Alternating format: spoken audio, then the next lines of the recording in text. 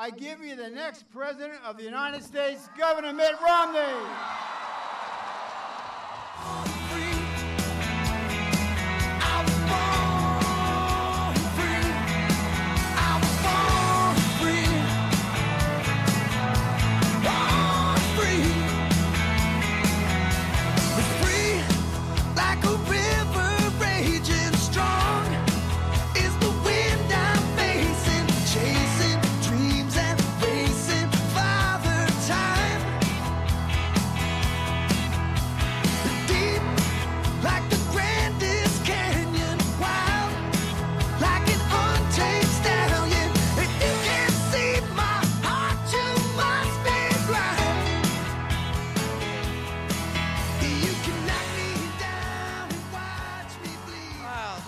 so much.